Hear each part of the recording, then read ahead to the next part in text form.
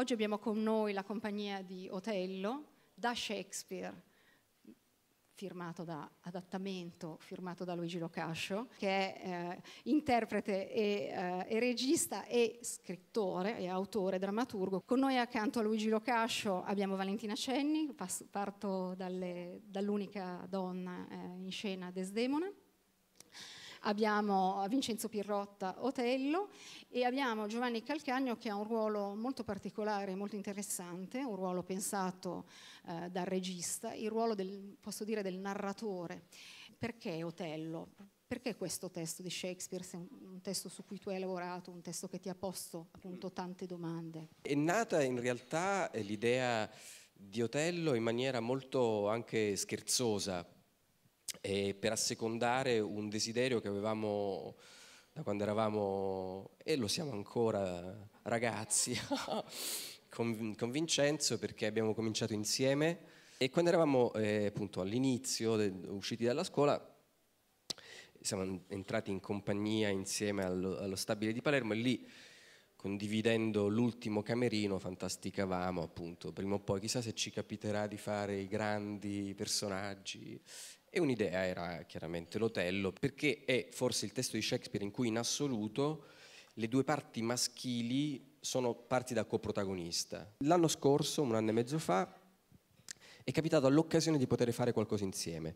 Era successo che io avevo, ero stato il protagonista di uno spettacolo di cui era regista eh, Vincenzo, dove tra l'altro c'era anche Giovanni Calcagno, che era Diceria dell'untore, e lì ci, siamo detti, sarebbe bello se prima o poi facessimo il contrario, cioè un, un testo scritto da me o comunque una mia regia e tu sarai eh, il protagonista, perché appunto, ribadisco, non mi sottraggo, cioè non è che io non ci sia, ci sono e sono felicissimo anche di avere questi compagni straordinari in scena, mi godo anche un po' di eh, tempo dietro le quinte a guardare soprattutto loro perché è un appunto restituito il protagonismo a Otello, ma anche l'importanza della storia d'amore, ecco, è sottolineata molto più che l'aspetto appunto della, del bianco-nero, l'aspetto della questione razziale. La storia viene raccontata da, da, un uomo che è stato molto vicino agli avvenimenti e lui ha voglia di raccontare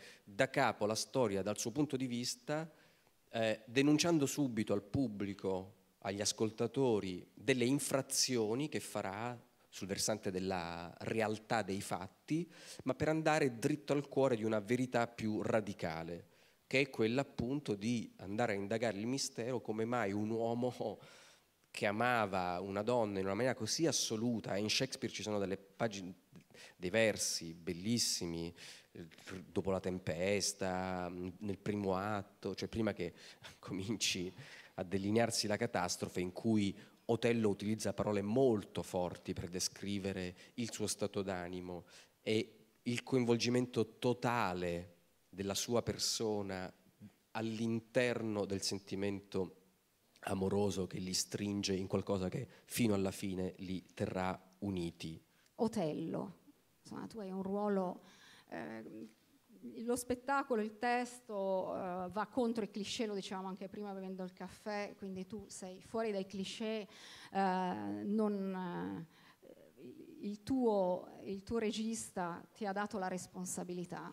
Il personaggio, eh, questo hai, hai, detto tu stessa, il, il fatto che eh, Iago è quello che trama no? l'inganno, Iago accende la miccia, accende la scintilla perché poi questo fuoco, questo, fino a diventare vampa, fino a diventare vampa feroce, fino a diventare appunto eh, fuoco che, che, che, che brucia eh,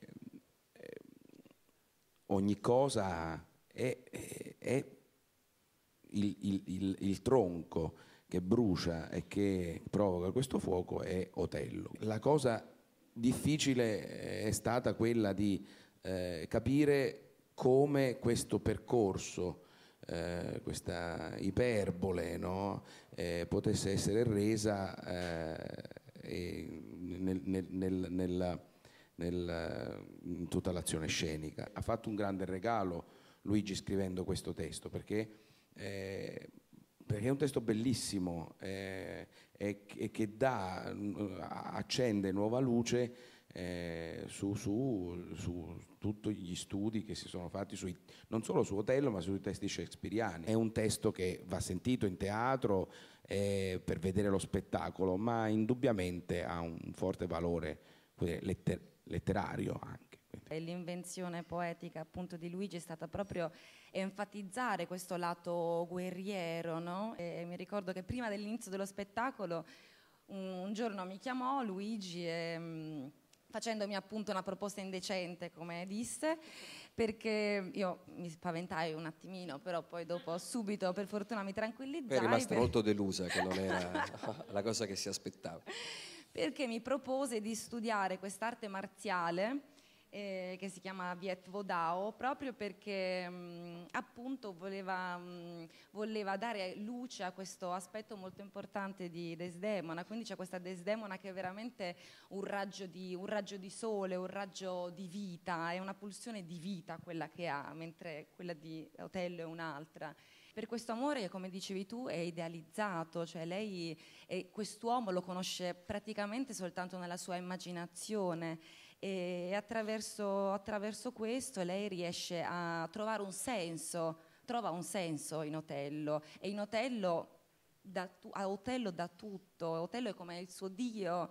E, e, lei è devota a questo Dio, lei si spoglia di tutto, lascia la casa, lascia tutto per andare incontro all'ignoto, incontro al buio, incontro a un uomo straniero che parla un'altra lingua.